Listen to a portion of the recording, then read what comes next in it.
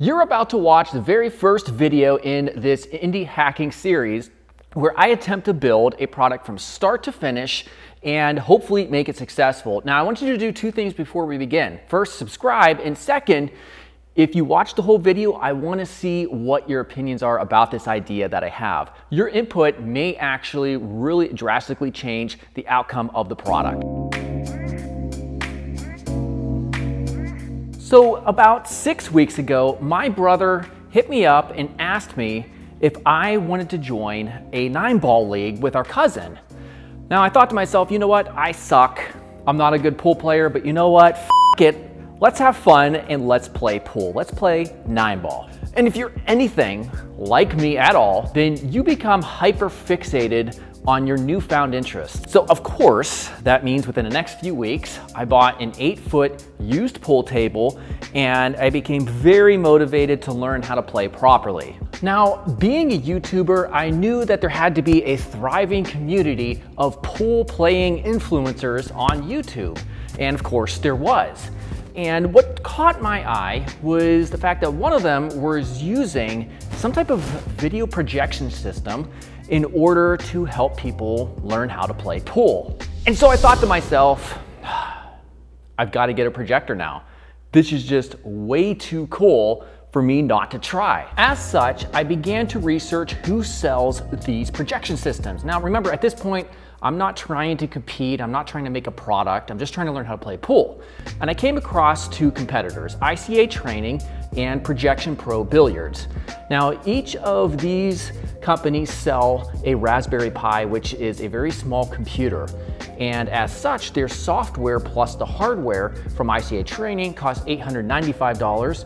And from the other Projection Pro Billiards competitor, they're $330. And that's not including the cost of a projector. And that's when the idea came to me. I thought to myself, wait a second.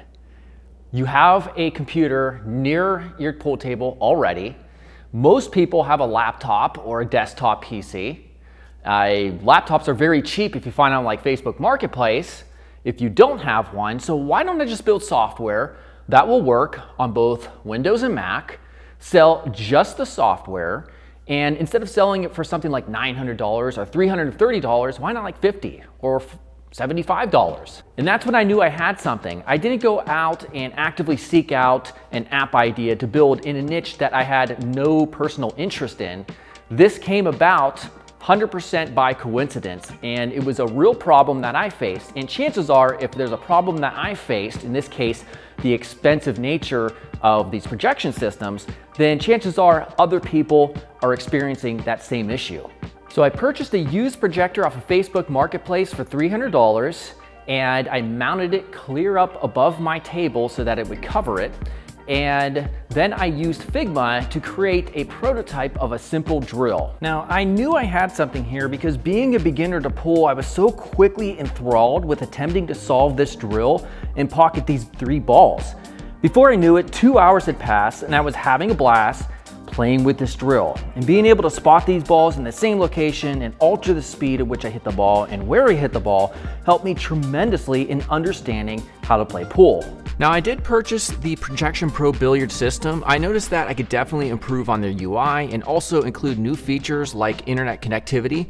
They also allow you to create your own drills, which is very cool, and it would be a must in my app as well. Now at this point, I do have a developer and it's a developer I trust and somebody I've worked with in the past already, and he's going to build this in Flutter. Now the name of the app is going to be AR Trainer for Augmented Reality Trainer by Racked. And Racked is the overall company name because believe it or not, I do have other product ideas. Let me know your thoughts in the comments below about whether or not you think this is a good idea, will it be successful, do you think the market size is too small?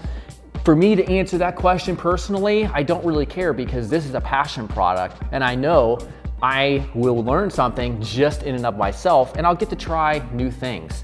So we have a lot more to do. Obviously, this is just the beginning. In the next video, we're gonna tackle branding and identity design for this.